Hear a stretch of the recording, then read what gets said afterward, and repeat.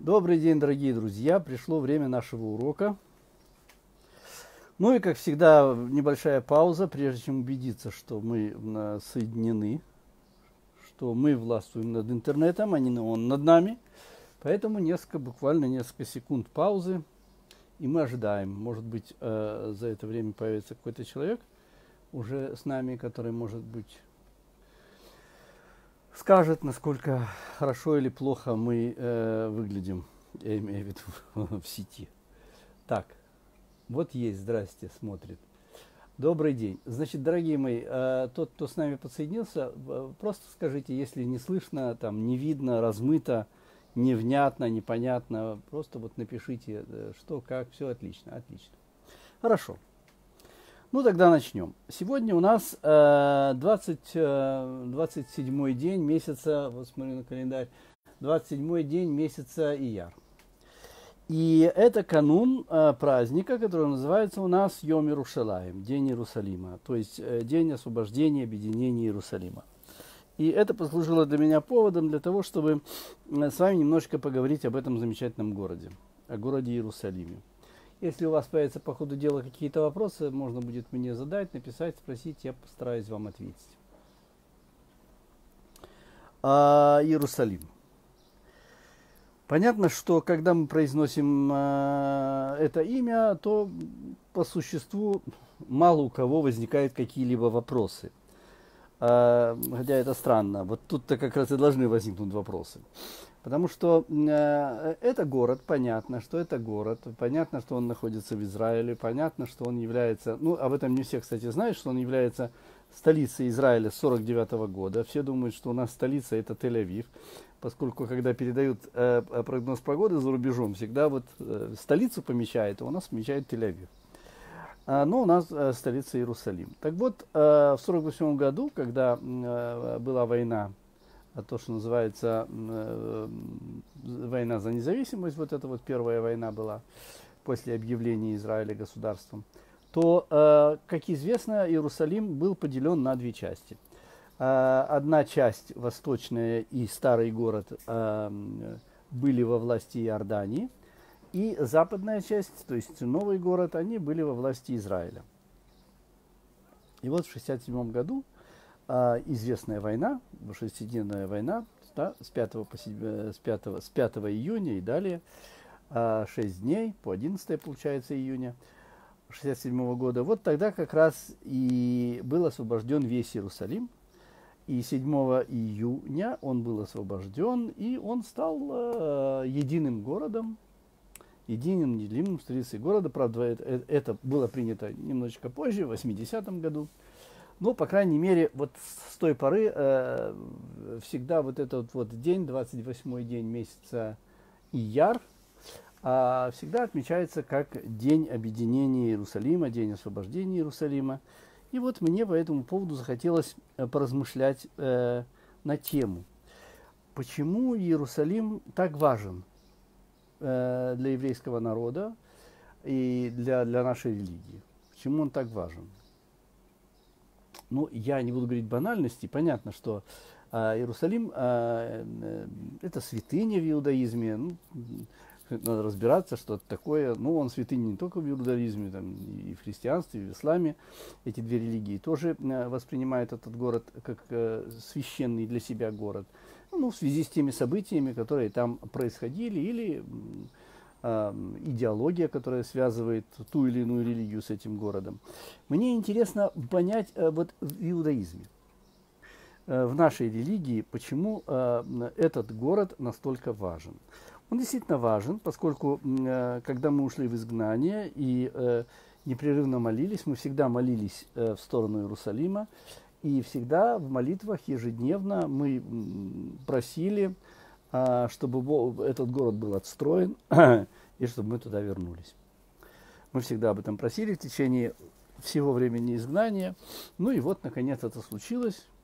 Да, помните знаменитый крик Моти Гура, там э, храмовая гора в наших руках, все нормально, мы освободили этот город. Итак, вопрос, почему в иудаизме Иерусалим имеет такое значение, такое неприходящее значение?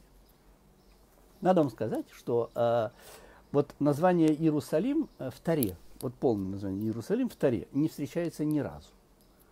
Не удивляйтесь, но это так. А э, в Священном Писании, я имею в виду в Танахе, да, в книгах пророков, в Писаниях, да, действительно, очень часто встречается, а было подсчитано 640 раз. 640 раз э, в, э, в то, что называется Микра, в Священном Писании, но не в Таре. Таре названия Иерусалим нет. Правда, там есть другие названия, которые намекают на это название, да, Например, э, Малкицедек, э, царь из города Шалем. Случай, когда вот Авраам э, победил там четырех царей, которые напали на, на пять царей Мертвого моря. И э, тогда навстречу ему вышел вот этот самый Малкицедек из города Шалем. И, естественно, комментаторы тут же говорят, что э, город Шалем – это город Иерусалим. Ну, это комментарий. А вот в чистом виде, вот так вот, чтобы мимо было, вот нет этого. Так что в Таре это, этого имени вот открыто не встречается. Хотя в Писании, опять-таки, повторяю, 640 раз. Итак, давайте поймем, а, что для нас в этом а, вопросе важно. Важно вот что. Что когда Всевышний создал человека, да, а многие считают, что человек это часть природы, это органическая часть природы. Ну хорошо, вот я лично так не считаю. Я считаю, что, э, конечно же, э, человека и природу связывают, имеется в виду природа, это материальный мир, вот этот физический, биологический мир, а, конечно же, много нас связывает. И э, мы, не то что мы часть природы, мы несем в себе много элементов природы, очень важных. Но мы не часть природы, вот в чем дело. Очень простой ответ. Э, Все, что является частью природы, может спокойно существовать в этой природе, э, выживать в этой природе. Ну вот я, я предлагаю такой эксперимент, поместить человека в какую-то часть природы, в самую любимую, он может выбрать самую эту часть природы, но только в природу. Но если он а, не имеет навыков, вот посмотреть, как долго он продержится в этой природе. Конечно, если у него навыки есть, то он может продержаться в любой природе, хотя какие-то там питье, еда у него должны быть. Но человек должен построить свой мир. А, он использует природу для того, чтобы строить свой мир. И мне так кажется, что наиболее точно э, можно сказать, что мир человека – это город. Это на самом деле город. Город в широком смысле этого слова. То есть там, где есть э, дом, в котором он живет, там, где есть люди, с которыми он общается, где есть ин- инфраструктура, которой он пользуется, э, еда, транспорт, э, защита. Все это связано именно с тем, что мы называем город в широком понятии этого слова. Ну и хочу вам напомнить, что первым строителем города был никто иной, как Каин. Каин. Каин, землепашец Каин, а, который после преступления, совершенного им, не мог пользоваться плодами земли, земля просто его не кормила. Он вынужден был впервые построить город. Поэтому на самом-то деле город построил Каин. И а, природа человека это он человек городской житель, так скажем. Поэтому для нас город это очень важно. Это очень важно. Надо вам заметить, что когда мы были э, в Египте, я имею в виду в изгнании, там вот, ну, да, находились там долгое время, и когда уже там нас закабалили, в рабстве мы были, мы не все, не все время были там в рабстве, то чем мы там занимались? Мы не строили пирамиды, мы строили города. Вот, вот евреи еще вот в Египте были градостроители, надо сказать. Вот два года, города сказано Питом и Рамсес, э, это то, что мы строили. Вот умели это делать. Поэтому город как таковой очень важен в нашей религии. Мне кажется, что наша идеология как раз и утверждает, что а, мы а, на самом-то деле обитаем в городах. Городах, и города определяются, есть разные типы городов, а, согласно религии. Город а, в земле Израиля, вне земли Израиля, город окруженный стеной, не окруженный стеной и все они имеют э, определенный уровень святости, и об этом все сказано. Вот есть трактат Келим, там это все буквально перечисляется, что земля вне Израиля имеет святость ниже, чем земля Израиля, а в земле Израиля город, который окружен стеной, имеет святость выше, чем тот, который не окружен стеной и так далее. И потихонечку мы с вами придем к тому, что Иерусалим имеет наивысочайшую святость, а в Иерусалиме храмовая гора – э, самую высокую святость, а, хра, а, а еще выше это, это храм и святая святых храма. Вот это вот уровни, уровни святости, которые его, собственно, э, говорят. И когда мы э, выходим из Египта, то есть когда мы вышли для того, чтобы служить Всевышнему, Всевышний нам четко и ясно сказал, вы должны построить храм, и тогда я буду среди вас. Да? Постройте мне храм, и я буду обитать среди вас. Вот этот вот э, пункт для меня, на самом деле, в моих рассуждениях достаточно э, важен. Нужно было найти, ну там, про пустыню мы не можем сказать, нужно было найти место, потому что храм был построен, он был передвижной, но, в принципе, там, где будет храм, там Всевышний будет обитать среди нас. Итак, возвращаюсь к первому вопросу. Почему так важен город Иерусалим? Надо вам сказать, что в нашей традиции, по крайней мере, в, и в Мидрашах, и, и в Талмуде, в Талмуде Мидраш Танхумар нам об этом говорит, и Талмуд э, Йома, там говорится о том, что а, Всевышний начинает свое творение с одного камня. Да? Он говорит, что есть такой камень, который, видимо, он создает, и этот камень называется Эвенаштия, или камень основания мира. И, и там еще дис, дискутируется, почему он так называется, потому что э, от него основан мир. То есть сначала вот этот камень Аштия, а потом э, от этого камня, или на этом камне, или вокруг этого камня. Но камень является основой основ. Основой основ вот э, всего мира. И дальше начинает этот мир строиться. А, так вот возникает вопрос, интересный вопрос. А где, собственно, этот камень находится? Где он находится? Может быть, он чем-то помечен в нашей э, традиции, в нашей истории, нашей религии? Ответ – да, конечно, конечно, он помечен. И об этом говорится, например, в жертвоприношении Ицхака. Когда Всевышний говорит Аврааму, возьми своего сына Исаака и пойди в то место, которое я тебе скажу, э, и в этом месте принеси, э, вознеси своего сына ну, в жертву, которая называется э, Ула. Ула – всесожжение. И вот он его берет, он идет, и он идет три дня, как известно, и он добирается до этого места – и вот на самом-то деле наша традиция утверждает, что то место, где это было совершено, и есть э, там, где находится вот этот самый Эвенаштия, камень основания мира. И э, когда он остановлен, известно, что это все описано, что э, Всевышний останавливает Авраама, он не приносит сына в жертву. Сказано так, что э, Авраам произносит э, что на этом месте, на этой горе э, будет э, э узреется Всевышний, увидится Всевышний, проявится Всевышний. Так вот, на самом-то деле наша традиция очень мощно и прочно связывает Эвенаштия, камень основания мира, с историей жертвоприношения. И э, в дальнейшем, когда мы будем читать про историю Якова, когда Яков э, убегает к Лавану, он там э, наткнулся ночью на что-то, устроил себе там спальное место, спал, ему сон замечательный вот виделся с, с ангелами, снующими по лестнице вверх и вниз.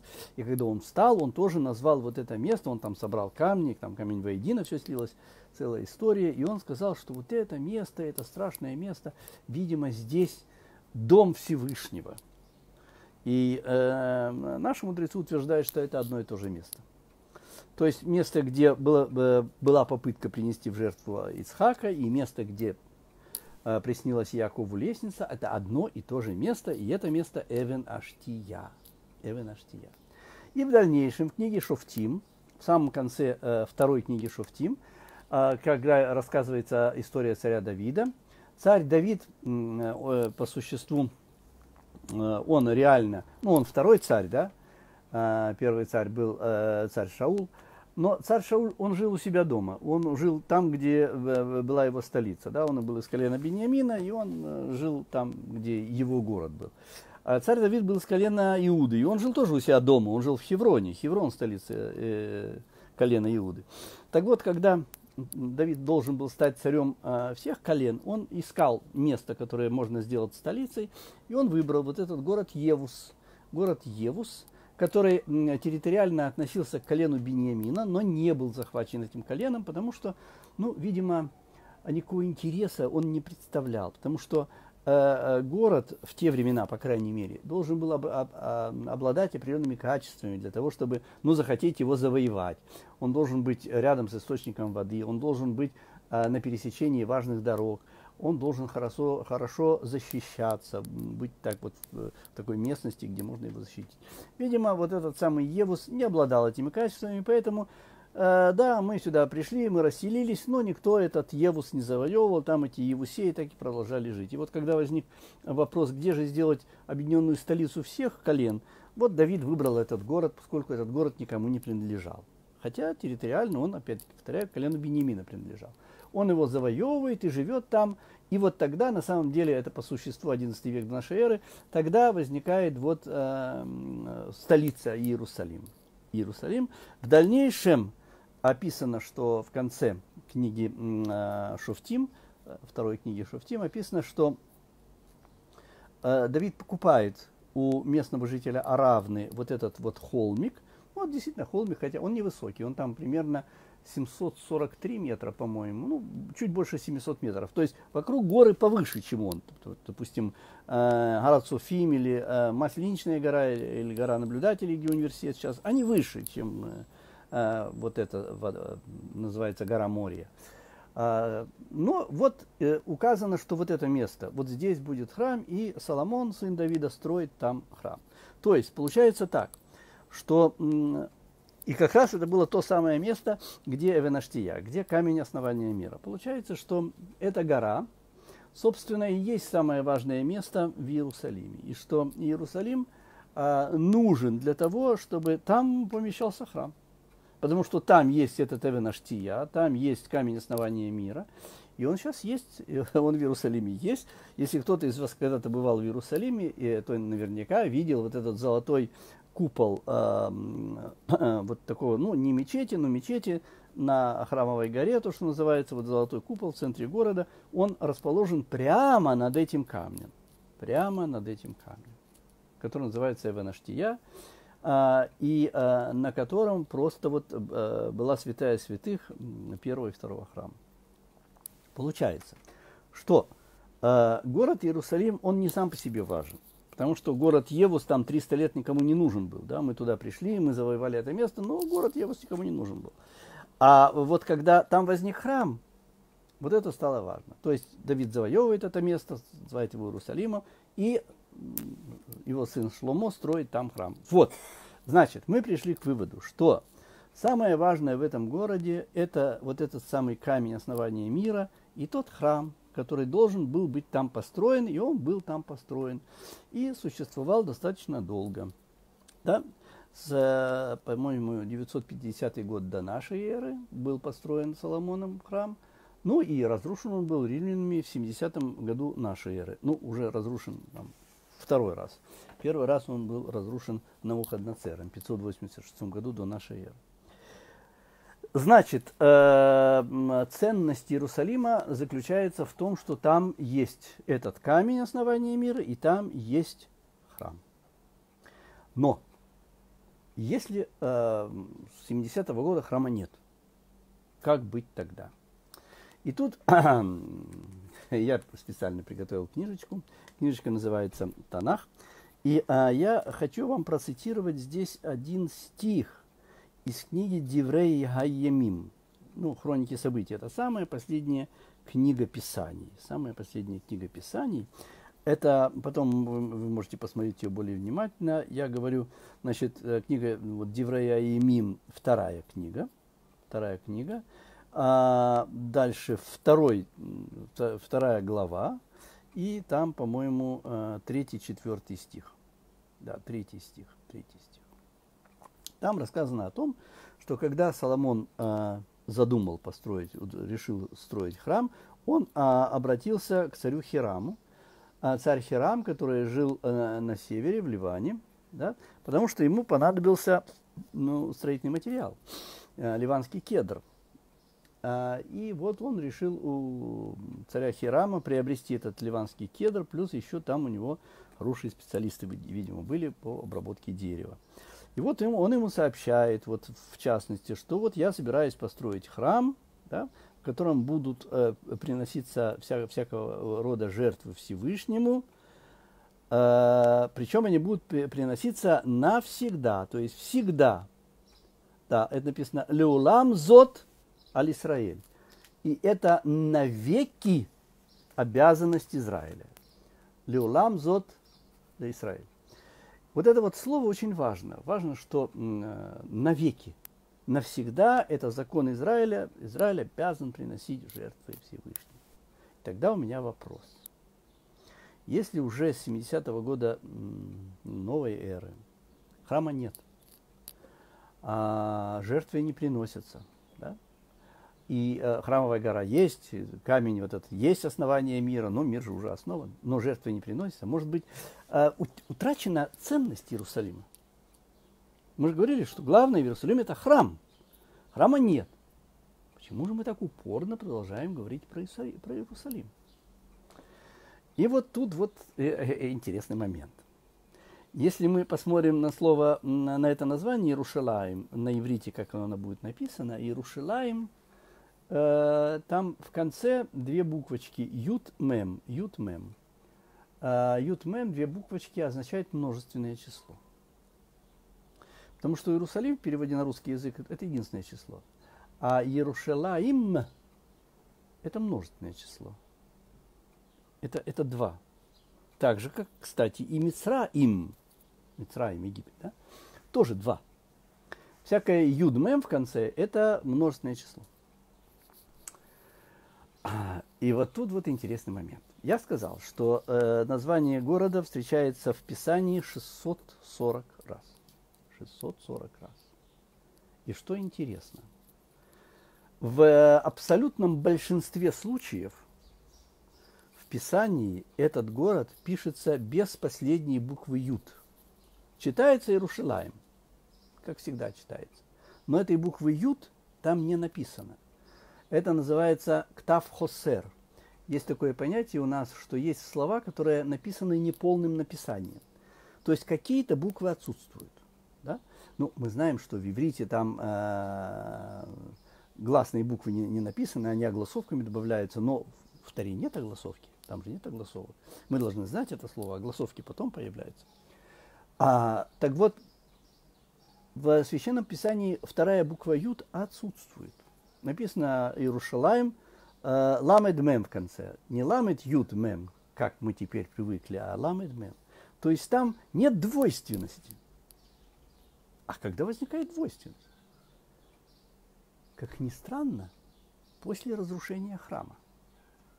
Вот уже э, в книгах, допустим, э, не знаю, более поздних, мы не говорим про книги, про книги пророков, нет, там нет ют а более поздняя литература, уже там э, Иерушалаем написан Юдмем. И как раз, ну вот плюс-минус э, в эпоху после разрушения храма, после 70-го года э, первой эры. Почему? Странно, почему возникает это Юд и превращает название во множественное число? Э, в Талмуде есть э, такая история, рассказывается, в Талмуде сказано, что вот этот камень, который был построен, взят, вот этот камень основания мира, он был внизу, и такой же камень был Бейльюним, вверху. И что есть два храма. Что был храм сверху, и есть был храм сверху и снизу. И, и что в верхнем храме все время э, Михаэль, написано э, самый главный из ангелов, он приносит жертвы. То есть жертва приносится внизу, и в это же время Михаил приносит жертву вверху. То есть это происходит все одновременно. Одновременно. И представьте себе, что э, когда он приносит внизу овечку, то Михаил приносит ту же овечку, но огненную, да, быка, но огненного. То есть, ну, все те же сущности, только другие огненные, огненный образ, образ, это образ, конечно. Ну вот внизу убирается храм. Его нет. Тогда что же приносит э, в жертву наверху? И сказано, что приносится в э, Тософот, там в объяснении к этому отрывку сказано, что э, главный ангел Михаэль приносит в этот момент на жертвенник души праведников. Души праведников. То есть, по существу, этот процесс жертвоприношения вверху всегда происходит. И вот когда возникает двойственность юдмем, когда внизу жертвенник разрушен, храма нет, сразу возникает множественное число названий этого города. То есть мне это говорит о том, что э, вовсю заработал жертвенник наверху, причем не огненные ягнята, как полагают одни из комментаторов, а именно души праведников. Души праведников при, при, приносятся э, в жертву. И получается, что м, Верхний Иерусалим, а Иерусалим всегда существует из-за храма. Значит, Верхний Иерусалим, видимо, тоже существует из-за Верхнего храма. Верхний Иерусалим всегда продолжает существовать. Нижний, то есть как бы вот э, его отпечаток, его оттиск материальный, он тоже существует. Он, конечно, не в полноте своей, поскольку э, шалем, э, ир шалем, шалем, шлемут, полнота, гармония, это относится только тогда, когда есть храм, так верхний всегда он шалем, он всегда в гармонии. А нижний получается, что нет. Нижний получается, что не в гармонии, но на самом деле он остается значимым. Он остается значимым. Почему? Потому что жертвоприношения не прекращаются. То есть по нашей традиции жертвоприношения не прекращаются, они продолжаются, и поэтому э, устойчивое существование Верхнего Иерусалима предполагает, что внизу даже разрушенный, недостроенный, он есть. Он есть. И он для нас очень важен. И когда мы, даст Бог, достроим этот храм внизу, и начнем приносить жертвы. А я думаю, что это должно случиться, потому что без этого ну, невозможно окончательно исправить этот мир. Тогда вот этот шлемут, полнота, гармония, они наступят. И Верхний Иерусалим, и Нижний, они будут соответствовать друг другу. Но при всем при том, значение Нижнего Иерусалима не уменьшается. И поэтому мы молимся в эту сторону, мечтаем об этом городе, мы говорим об этом городе, потому что мы понимаем, что сущность храма существует. Цена этого существования души праведников очень велика, но он существует. Он существует. И поэтому этот город для нас настолько важен. Он сущностно важен. И потом мы понимаем еще одну вещь. Понимаете?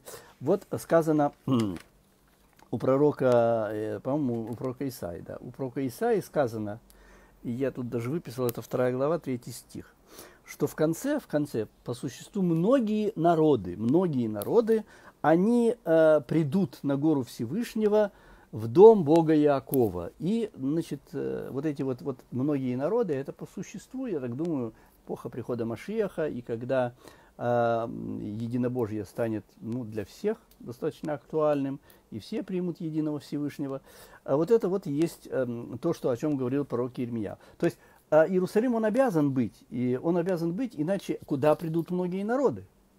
Им некуда будет приходить, потому что э, на гору Всевышнего, в дом Бога Якова, это тот самый дом, который построен на камне основания мира. То есть Иерушалаем, двойной, верхний и нижний, в конце Юдмеем.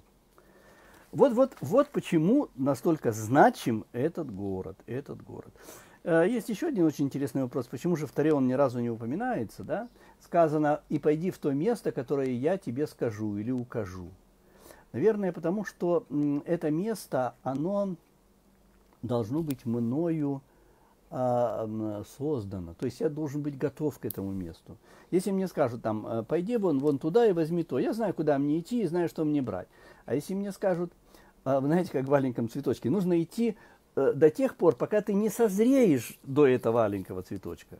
Он где-то там есть, но ты, чтобы его найти, должен быть готов к этому. Также Иерусалим. Иерусалим, он существует, особенно для Авраама.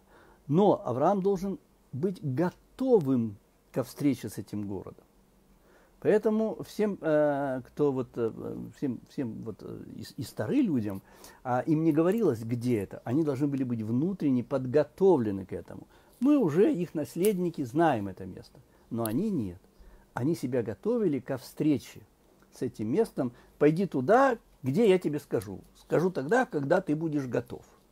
Вот я думаю, э, поэтому сказано в то место, которое я тебе укажу, и не названо какое, потому что ты должен приготовиться к этому месту. Ну вот примерно вот это я вам хотел рассказать. Я сейчас хочу посмотреть, может быть, были какие-то вопросы, и э, тогда можно было бы э, ответить.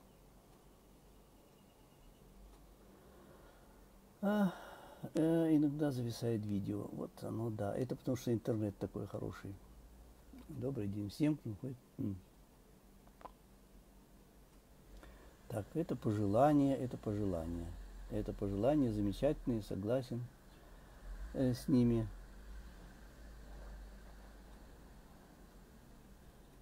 Да, всем привет.